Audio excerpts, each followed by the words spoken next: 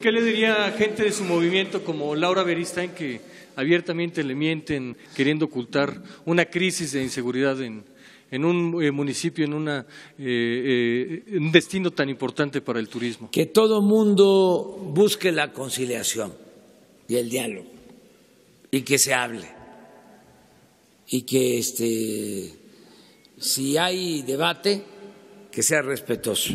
El poder atonta a los inteligentes y a los tontos los vuelve locos. Nosotros no vamos a censurar a nadie. O sea, no hay censura. Eh,